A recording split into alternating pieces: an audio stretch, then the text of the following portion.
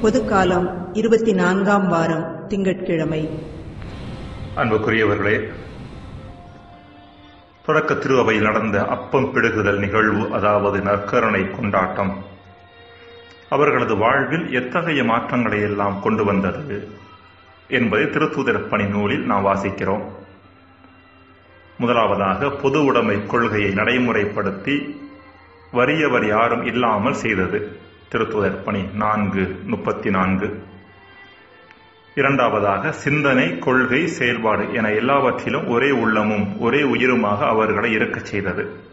திருத்துதர் பணி நான்கு முப்பத்தி இரண்டு. மூன்றாவதாக தேவையின் அடிப்படையில் பொருட்களை பகிர்ந்து கொண்ட சமத்துவ சமூகத்தை உருவாக்கியது. திருத்துதர் பணி நான்கு முப்பத்தி ஐந்து நான்காவதாக தனி மனித நலன்களை பிறர் மைய நலன்களோடு இணைத்து கொண்டு செல்ல உதவி உதவியாக இருந்தது. திருத்துதர் பணி நான்கு முப்பத்தி ஐந்து மற்றும் இரண்டு நாற்பத்தி நான்கு. ஐந்தாவதாக நற்கருணை பண்பை பிரதிபலித்ததால் திருத்தூதர்களும் பிரச்சனையின் போது பிரச்சனையை மையப்படுத்தினர். ஆட்களை அல்ல. திருத்துதர் பணி ஆறு ஒன்று முதல் இரண்டு முடிய. இறுதியாக சமூகத்தில் அதிகார பகிர்வு செய்வதற்கும் தொடக்க திருச்சபையின் அப்பம் பிடுகுதல் நிகழ்வு உதவியது. திருத்துதர் பணி பதினைந்தாவது பிரிவு. இவ்வாறு தொடக்க திரு அவையில் நற்கரணை கொண்டாட்டம் ஏற்படுத்திய தாக்கம் அளப்பரியதாக ஒரு பக்கம் இருந்தாலும் காலப்போக்கில் திரு அவை உறுப்பினர்களின் எண்ணிக்கை கூட கூட இப்படிப்பட்ட பண்பு நலன்கள் நீர்த்து போக ஆரம்பித்தன. அதற்கான ஓர் உதாரணத்தை தான் இன்றைய முதல் வாசகத்தில் பார்க்கின்றோம். குருந்து நகரில் திருச்சபையை நிறுவியவர் பவுல். இத்திருச்சபையில் இயேசுவின் திருவிருந்தை அறிமுகம் செய்தவரும் பவுலே. ஆண்டுகள் நகர்ந்து செல்ல செல்ல திருவிருந்து வாடிக்கை நிகழ்வாக மட்டும் மாறி சில சிக்கல்கள் தோன்ற ஆரம்பித்தன. ஆலயங்கள் இல்லாத தொடக்க கால திருச்சபையில் இயேசுவின் திருவுணவை அருந்த வீடுகளில் கிறிஸ்தவர்கள் கூடினார்கள். கூடி வந்தவர்களில் ஏழைகளும் பணக்காரர்களும் அடங்குவர் பணம் படைத்தவர்களின் இல்லங்கள் பெரிதாக இருந்ததால் அவர்களின் இல்லங்களில் வைத்தே திருவுணவு கொண்டாடப்பட்டது. திருவிருந்து எப்போதும் மாலையிலேயே நடைபெற்றது.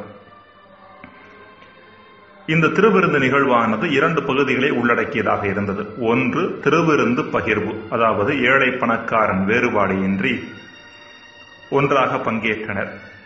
இரண்டாவது மாலை உணவு.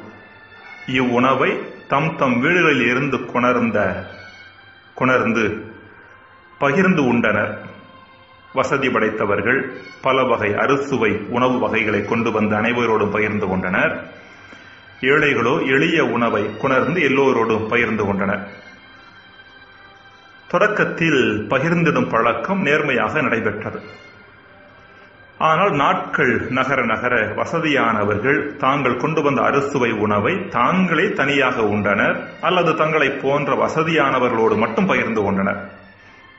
ஏழைகளில் சிலர் எளிய உணவு கொண்டு வந்தனர். அதற்கும் வழியில்லாதவர்கள் எந்த உணவுமின்றியும் வந்தனர்.